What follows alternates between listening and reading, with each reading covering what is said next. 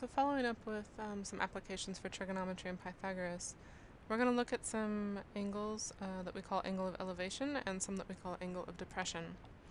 So an angle of elevation is when you're looking up at something from the ground, and you can think about that like elevation, you know, it goes higher. You're looking up to see how tall a mountain is, for instance. So it's going up, because you're gaining elevation as you look up. And it is usually measured from the ground. So if you think about the ground being a horizontal, the bottom, if I'm standing at the bottom of this um, building at a distance away, and I look up to this roof there, I can see a cat. So if I look up, as I'm looking up, I'm creating an angle of elevation. I'm looking from the ground up. And so I could say here that I'm looking up at an angle of elevation of, I don't know, 60 degrees. So I'm looking up from the ground level by 60 degrees to see that there's a cat on the roof. And the part that's nice about this is that with these problems we often see right angle triangles. So if you notice that a building should be perpendicular to the ground, you get a 90 degree in there. So you get one side of a triangle here, one side along the bottom, and then you get this angle coming through here.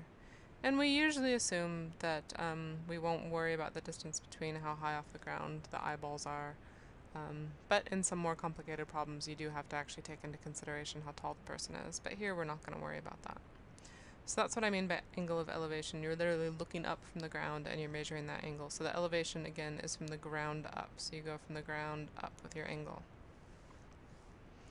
Now, angle of depression, if you want to think about depression by, you know, maybe thinking about being down about something. So angle of depression is measuring down. So you're looking down from the horizon. So if I think about this little mouse on top of a road cone, and he looks off into the distance and he can see a little piece of cheese. So as he's gazing, he's going to gaze out along the horizon, and the horizon is just a flat line, so looking out into the distance. And our angle of depression is made by measuring down from the horizon. So if he looks out to the horizon, he'll then glance down towards the cheese, and the angle of depression is from the horizon down. Okay, so from the horizon down. So you could say here that this mouse has an angle of depression. I don't know, we'll make it up again, something like 50 degrees. And so that's 50 degrees measured again from the horizon down to what he's, the angle he's actually looking to. So you measure down on the angle of depression. And again, if you pay attention here, you can make a little right angle triangle. The ground that the cheese is on, up vertically through the cone to where the mouse is sitting, and now you can use trigonometry and Pythagoras to help solve this problem. If, for instance, I wanted to know how far away from the, um, the cone the cheese was.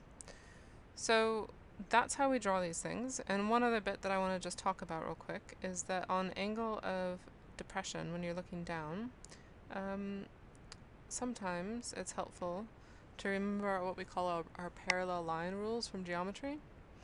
So if I want to try to find information out about this triangle, based on what I've got, I only know that there's a 50 degree angle up here, but I don't actually know any of the angles in the triangle. So there's two ways we can look at solving this problem.